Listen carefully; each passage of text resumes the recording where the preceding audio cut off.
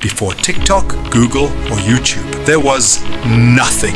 No websites, no browsing, no dot coms. And then came one man with one question. What if everyone could share information instantly? His name? Tim Berners-Lee. It was the late 1980s, and Tim was working at CERN, the world's largest physics lab. Scientists from around the world needed to share data, but there was no unified way to do it. So Tim built it. He created the World Wide Web, inventing URLs, HTTP, and the first web browser. The first website, it went live in 1991, and it explained what the web was.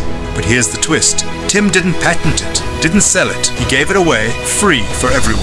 Why? Because he believed the web should be open and accessible to all. His invention changed everything. How we learn, how we connect, how we work, shop, love, protest, and create. The web became the digital backbone of our world. And Tim Berners-Lee never made a fortune from it. Instead, he kept fighting for online freedom and privacy because to him, the web wasn't about power.